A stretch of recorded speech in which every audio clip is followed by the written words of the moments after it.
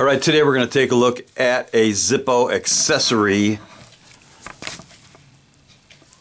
Now this is made by the OtterBox company. You can see it's a Zippo cargo case made by the Otter, the OtterBox company. And there's a plastic hang tag. It's got the Otter label on it. And it's also labeled OtterBox for Zippo with the barcode. Here's some additional information uh, molded in. Model 1000, patent pending, otterbox.com. And it's supposed to be uh, DOT approved according to the little pamphlet. This is the OtterBox full line catalog.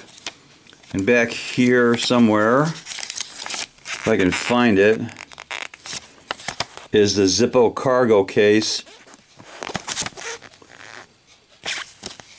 And it says, don't let your lighter get confiscated. Use the Zippo cargo case, the only DOT approved carrying case for Zippo lighters aboard airplanes.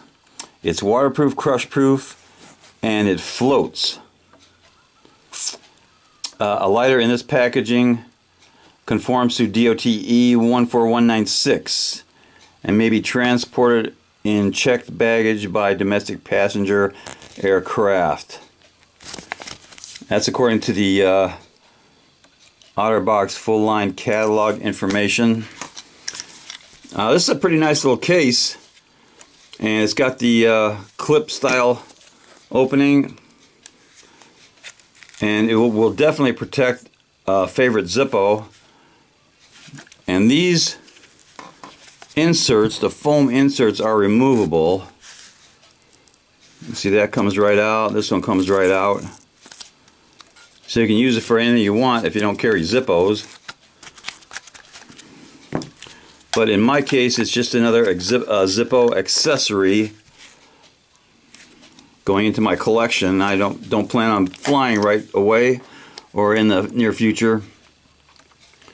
That is the OtterBox for Zippos.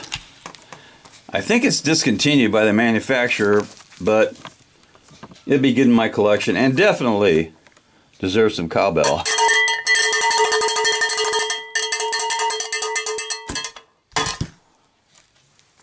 Knuckle bump.